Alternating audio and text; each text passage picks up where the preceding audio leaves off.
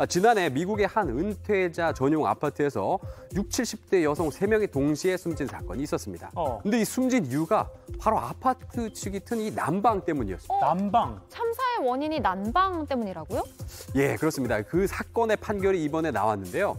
그 AP통신 보도 잠깐 보시겠습니다.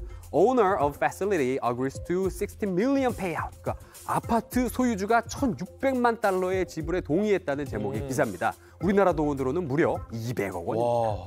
이게 어떻게 된 일이냐면요. 아, 지난해 5월 여성 3명이 한 아파트에서 숨진 채 발견이 됐습니다. 이때 시카고는 이상 고온 현상으로 섭씨 35도가 넘는 엄청난 더위를 겪고 있었는데요. 네. 근데 아파트가 냉방을 안 하고 난방을 한 거예요. 이해가 안 돼요, 네. 예, 이는 이 부검 결과에서도 드러났습니다. autopsy, 그러니까 부검이라는 단어죠. excessive heat exposure. 세 명 여성 모두 모두 과다한 노, 이, 열에 노출돼서 숨진 것으로 드러나, 드러났 다는 내용입니다.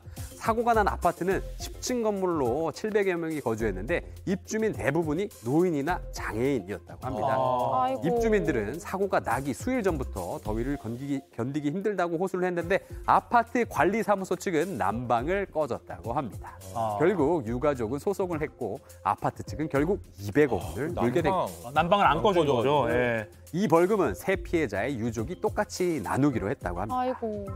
또 시카고시는 이 사고를 계기로요 노인 전용 아파트의 경우 실내 체감 온도가 60, 26.7% 7도를 넘으면 공용 공간에 반드시 냉방 센터를 설치하도록 하는 조례를 마련했다고 합니다. 뒤늦게야 이게- 마련했네요. 맞아요. 그러니까 아파트가 보니까 이 아파트가 6월 전에는 뭐 냉방기를 틀면 안 된다 뭐 이런 규정이 있다는 거를 잘못 이해해가지고 난방기를 계속 돌렸다는 거예요. 근데 아. 또 규정을 잘못 이해한 데다가 그걸 또 무더위 속에서 계속 고집하고 있었으니까 참 안타까운 거죠.